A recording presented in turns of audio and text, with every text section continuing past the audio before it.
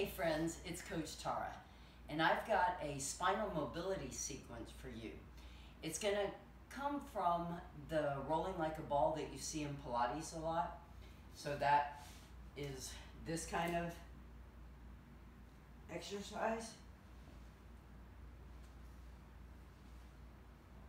So I'm gonna use the same premise, but I'm gonna add some other movements so that we're getting our spine flexion into flexion, extension, and some rotation.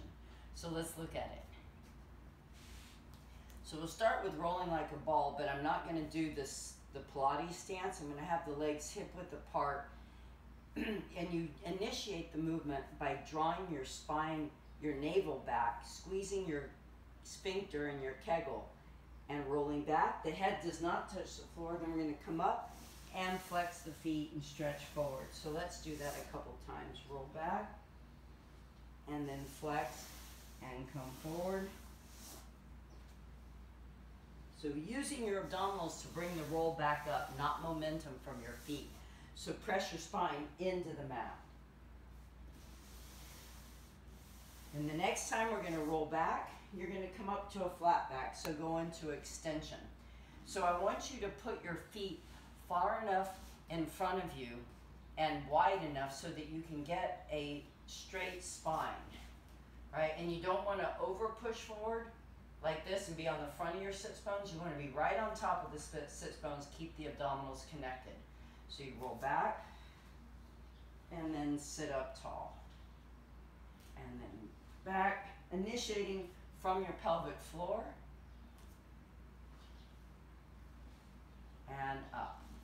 And then the next one is into rotation. So roll it back, keep the chin tucked, sit up tall, and rotate.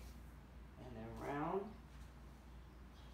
sit up tall, and rotate. And you can press this hand into the ground, get as tall as you can to find the rotation.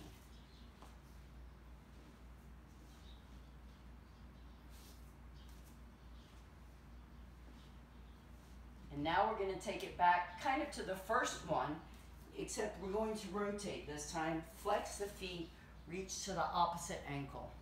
Then roll back, flex, and reach. And the other arm can reach behind you, so you're getting that rotation. And round, flex the feet, and reach.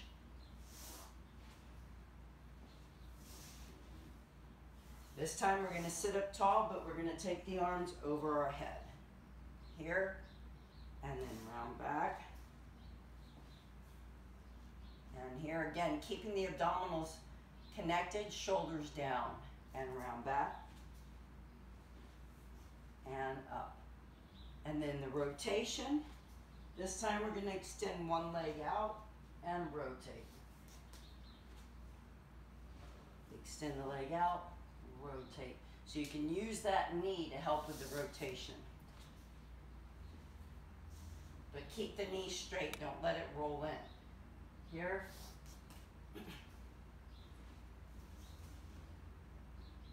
And now look at, let's look at it all together.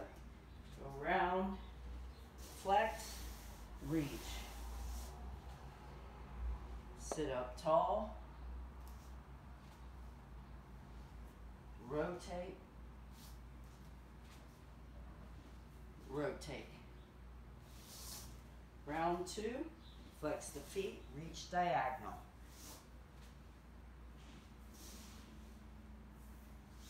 Sit up tall with the arms over the hip. Rotate.